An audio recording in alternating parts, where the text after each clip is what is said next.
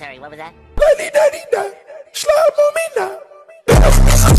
What is going on, guys? DJ Ave here. Smash that like button and join the notification gang. Anyways, we're gonna talk about Zaytoven's new dope production featuring Future, which is called Wi-Fi Lit, and is an E minor scale, and it sounds like this.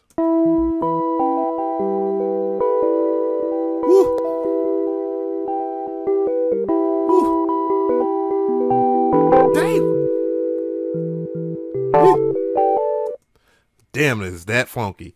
So the main thing I really want to teach you guys is the scale itself. Again, it is the E minor scale, which persists of this. And I'm playing it with an E piano, and I will play it with a regular piano. So it is E, F sharp, G, A, B, C, D, and back to an E. So, yeah. So with this scale, it is very, very flexible. Uh, main reason why I say that is because this E minor scale can fit some C major scales in, inside of there. As you can see, the only black key is the F sharp, which is that. So if I was to hit this, they fit. So that is really, it's a really flexible scale. And you got to keep in mind that is a tragic serious, jazzy, soulful scale. So let's go ahead and hear this again.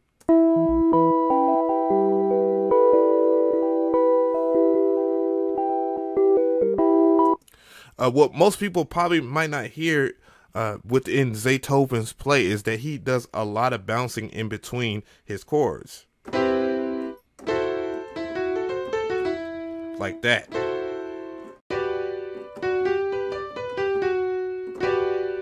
As I play a little suspended chord there. So it's really good that you learn the E minor scale because again, it can help you out a lot. That there is a easier way. If you can go to this drop down menu and then you can go into helpers, go into scale highlighting, and this is in FL Studio 12.3 or higher, guys. You can go select an E and then select a minor natural because it is a natural minor, not any of the other minors, even though a Dorian minor will fit in there. So I just wanted to point that out as well. So from there, you'll see on this grid over here that you'll see black uh, darker lines in the grid and then you'll see lighter lines in the grid and what that means is the lighter lines is where you want to be in terms of your playing as you can see in relationship to Zaytoven's playing there is only a few parts that are in the black lines, in the black grit, uh, black grit lines. And it does fit into that because of the C major sevenths that you can play in the 13ths. Even this. So yeah, this very flexible scale.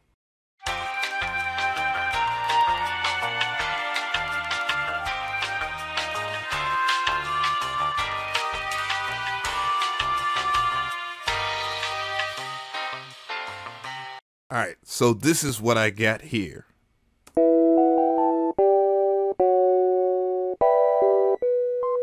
Hey.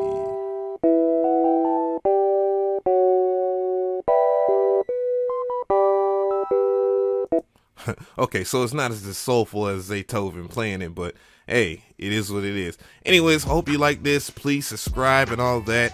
Also, leave a comment. Just let me know if you want more of this beast mode too, because I'll be glad to do it. Let me know by hitting that like button. I'm DJ Ave. Don't forget to download the MIDI as well. We're out of here, Traptendo.